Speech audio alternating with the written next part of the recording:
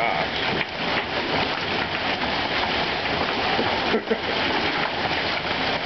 Did you say insurance claim? Man. No aliens. Damn close to aliens.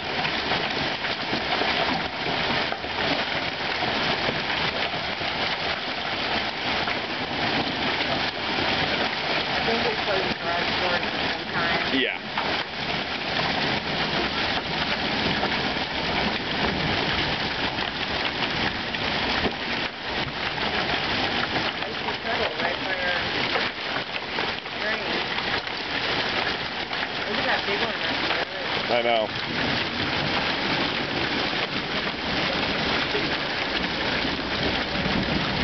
You were bigger than it. Yeah.